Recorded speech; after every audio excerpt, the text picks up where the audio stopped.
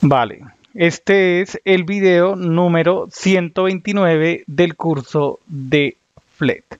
Seguimos adelante, aprendiendo. Ok, entonces hay varias propiedades. Child Aspect Ratio, creo que la utilizamos, sirve para establecer el ratio a través del, dice, de un eje. Están los controles, que en este caso fueron objetos de tipo image. Está horizontal, dice que es para organizar los elementos en el grid view de manera horizontal. Está max extend, hay unos elementos que no están documentados. Hay que tener en cuenta que este es un proyecto en desarrollo. Listo, está el spacing, el rounds count. Dice que rounds count es el número de hijos en el eje dado. Listo, entonces ya eh, ahora eh, avanzaremos al componente Response View, que es parte del layout. Creemos em, en la carpeta Layout una carpeta que se llame Responsive Row, fila responsiva, que responde seguramente al cambio de ancho alto, puedo suponer. Y ahí como es un módulo Python, escribimos el, archivo .py. Un commit que diga, iniciando la demo de responsive, eh, responsive row. Responsive row. A ver. Dice lo siguiente. Responsive Row trae la idea de un layout tipo grid del framework Bootstrap, que es un framework de hojas de estilo, CSS, para crear la apariencia, los colores, los tamaños de elementos que aparecen en una interfaz, en un documento HTML, en, una página web. Responsive View permite alinear los controles hijos, los controles hijos eh, a columnas virtuales. Por defecto, una grilla, un grid virtual tiene 12 columnas. Eso se toma de Bootstrap. Es decir, a lo ancho tenemos en una fila tendríamos 12 columnas. Bien, pero puede ser personalizado utilizando el atributo columns, esa propiedad de responsive view. Ok, ¿qué más hay por aquí? Similar a la propiedad expand, cada control ahora tiene una propiedad call, el cual permite especificar cuántas columnas un control puede expandirse. Y eso es genial porque podríamos proporcionar, especificar cuántos, cuántas columnas ocupa un elemento. Digamos que tenemos una columna en donde se muestra el ID y es un número de tres dígitos. Luego viene el nombre del producto, ocupa más espacio y luego vendría el total o el costo del producto ahí es un poco más ancho, entonces es posible establecer esos valores. Por ejemplo, para hacer que un layout consista de dos columnas, cada una ocupando seis, entonces por eso se vuelve responsive, responde al ancho alto, ¿vale?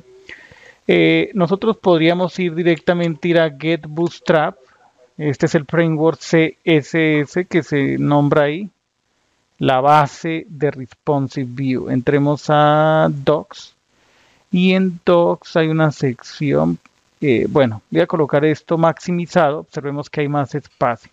Y a medida que, por ejemplo, si pasamos a modo, eh, digamos, un iPhone 12 Pro, se muestra así. En un Surface Pro, de esta manera, hay más espacio, la pantalla es más grande.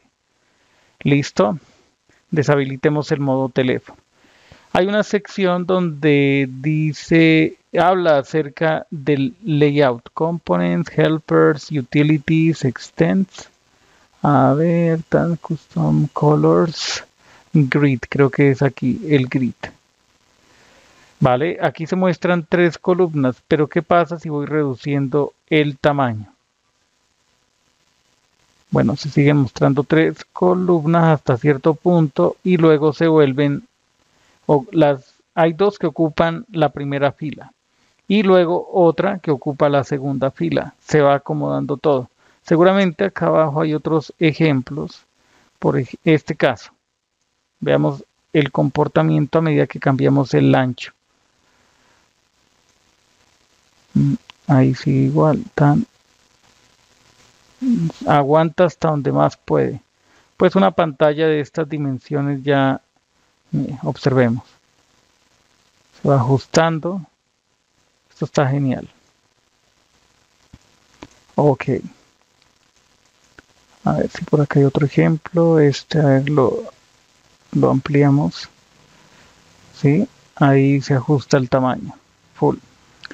Esa es una de las propiedades características que tiene ese componente responsive view. Vale, dejemos esto así. Bien. Ok, entonces eh, está este caso de ejemplos, importa flat, eh, responsive view, tenemos una columna, indicamos el argumento nombrado call, quiere decir que este texto va a ocupar eh, el 50% y la columna siguiente también. Eh, ¿Qué más encontramos por aquí? A ver.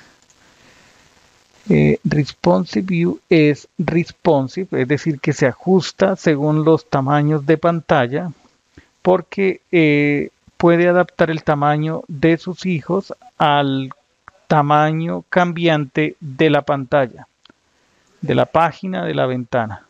¿Listo? La propiedad call en el ejemplo anterior es, una, es un número constante, el cual significa que la, el elemento hijo de esa fila ocupará seis columnas para cualquier tamaño de pantalla. Ok. Si la fila mm, de, si el elemento hijo de responsive view no tiene la propiedad call, especificada, es decir, si esto no estuviera aquí, se expande eh, hasta la cantidad máxima de columnas. Es decir, que si esta primera, eh, digamos, ocupa 3 y aquí no especificamos la propiedad, entonces va a ocupar, como son 12, va a ocupar 9, ocupa las restantes. Bien call puede ser configurado para tener diferentes valores para, eh, para breakpoints, o sea, como particiones donde ya un breakpoint básicamente es, pensemos que tenemos un ancho y ese ancho tiene unos límites, ¿cierto? Unas medidas. Se puede colocar un breakpoint aquí para que el contenido se expanda a la siguiente columna o que se muestren las, eh, perdón, que se expanda la siguiente se posiciona en la siguiente fila. Es más o menos el concepto. Y hay unos rangos. Esos rangos se muestran aquí. Esos rangos tienen nombres. XS de small, SM es, small, sí. XS es small, MD es medium, LG, em, large, está XL, que es extra large, y XXL, es extra, extra large. Y vienen unas medidas, o sea que extra small son pantallas menores a 576 píxeles. Small es mayor a 500, 500 es igual o mayor a 576 y medium ya, ya empieza a partir de 768 y similar para el resto de tamaños. Bien. Em, ok, entonces, a ver, voy a borrar esto. Por ejemplo, en el siguiente caso, el contenido colapsa en una sola columna en un dispositivo móvil y toma dos columnas en tamaños grandes.